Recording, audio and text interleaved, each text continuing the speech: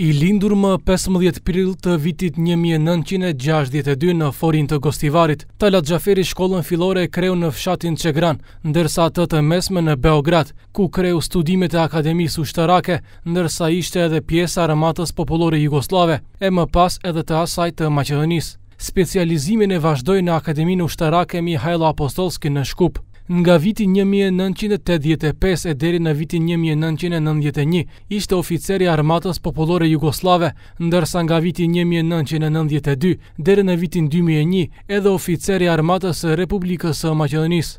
Gjatë kryengritjes së vitit dy mijë e një në Maqedoni, Xhaferi edhe më tej ishte oficer i lartë në ARM, ku komandonte trupat në kazermën e Tetovës. Pak ditë pas masakrës së Vicës më njëzet e tetë prill dy mijë e një, Xhaferi ndërroi anë dhe u bashkua me Ushtrinë Çlirimtare Kombëtare. Xhaferi kështu u bë komandant i Brigadës së njëqind e gjashtëmbëdhjetë dhe mori nofkën Komandant Forina. Më pas Xhaferi u amnistua pas Marrëveshjes së Ohrit.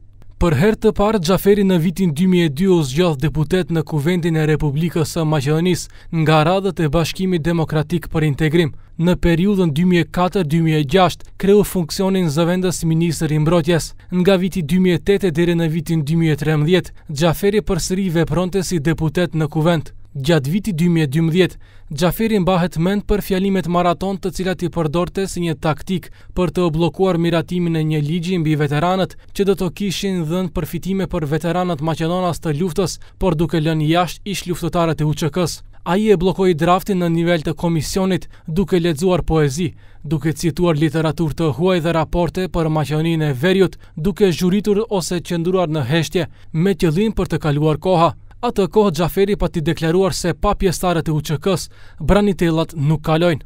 Në vitin dy mijë e trembëdhjetë, Talat Xhaferi mori postin ministër i Mbrojtjes, veçanërisht kur me qeverinë udhëhiqte ish-kryeministri Nikolla Gruevski. Emërimi i Xhaferit si ministër i Mbrojtjes shkaktoi protesta nga ana e maqedonasve. Protestat ishin të ashpra, Saqë përfunduan të lënduar disa policë, u dëmtuan dy automjete policore, u dogj një autobus i transportit publik, si dhe u dëmtuan shumë objekte private. Njëzet e shtatë prilli i vitit dy mijë e shtatëmbëdhjetë do të jetë datë që do të mbajnë mend si Talat Xhaferi, deputetët e atëhershëm të Kuvendit, gazetarët, por edhe i gjithë populli i Maqedonisë së Veriut.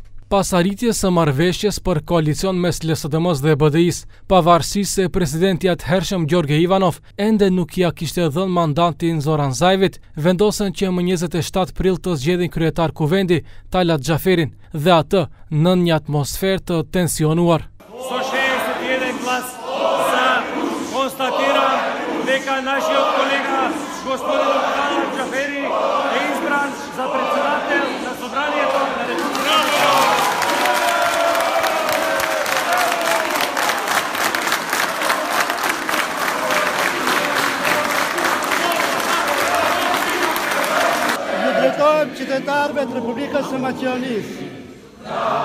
Të nderuar qytetarë, edhe pse këto rrethana në këtë moment historik po bëhet zgjedhja e kryetarit të parë shqiptar të Republikës së Maqedonisë nga mëvetësimi i saj, të vetëdijshëm për përgjegjësinë historike që kemi Betohemi që puna parësore në punën tonë në parlament do të jetë interesi i qytetarëve të klimës për kërënisë, që të krijohen institucione të pastra të cilat do të funksionojnë mbi bazë të ligjit dhe kushtetutës, dhe si kryetar i zgjedhur edhe në këto rrethana, në asnjë moment nuk do të lejoj që të bëhet uzurpimi i institucioneve këtu në vend.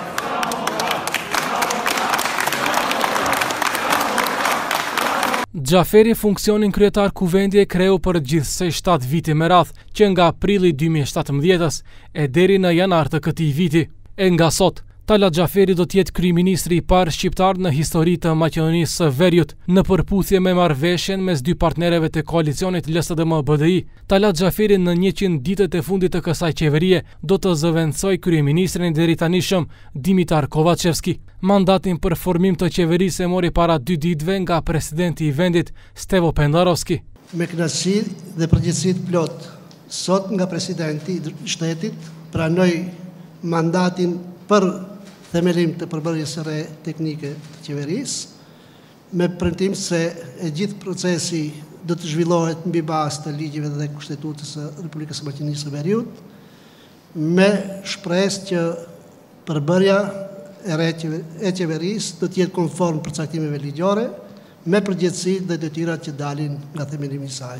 Talat Xhaferi postin e kryeministrit do ta kryejë deri në mbajtjen e zgjedhjeve të rregullta parlamentare, të cilat janë paraparë më tetë maj, respektivisht, deri në ditën kur do të formohet zgjedhja e përbërjes së re qeveritare.